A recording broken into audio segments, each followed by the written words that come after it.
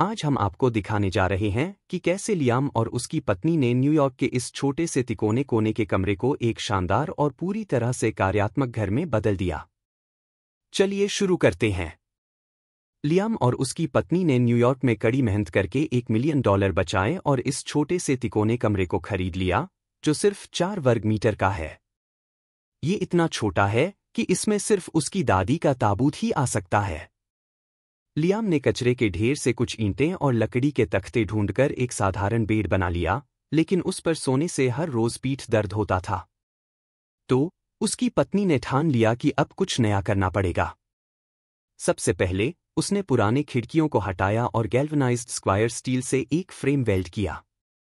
इसे बाहर की तरफ़ बढ़ाया ताकि अतिरिक्त जगह मिल सके। फ्रेम को वेल्डिंग से मज़बूत किया और अपनी आंटी से उधार लिए गए एक्सपेंशन स्क्रू का इस्तेमाल करके इसे दीवार पर मजबूती से फिक्स कर दिया।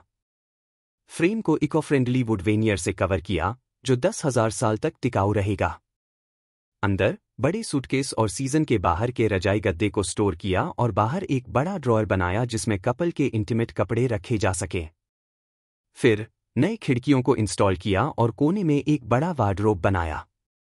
बाईं तरफ़ कपल के कपड़े और पत्नी की चीज़ों के लिए एक छोटा सा गुप्त कंपार्टमेंट बनाया। ऊपर, पत्नी की घरेलू चीज़ें रखी गईं।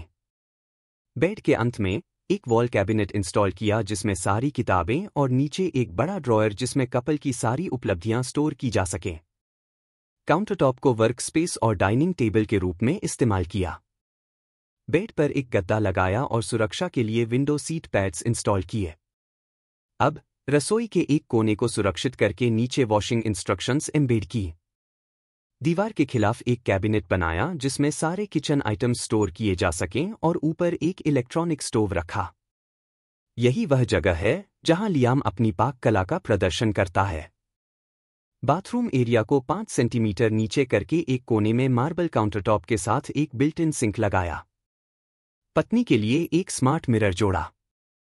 कोनों में टाइल्स एम्बेड की ताकि रोज़मर्रा के टॉयलेटरीज रखे जा सकें।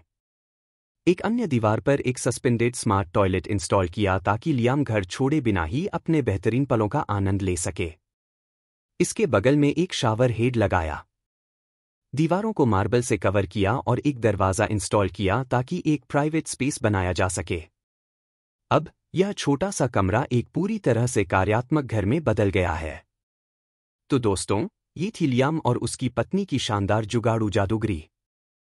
अगर आपको यह वीडियो पसंद आया हो तो लाइक, शेयर और सब्सक्राइब करना न भूलें। अगले वीडियो में मिलते हैं। इस वीडियो में लियाम और उसकी पत्नी की अनोखी जुगाड़ूगिरी आपको हँसी और प्रेरणा दोनों देगी और बताएगी कि छोटी सी जगह में भी बड़े सपने कैसे साकार हो सकते हैं।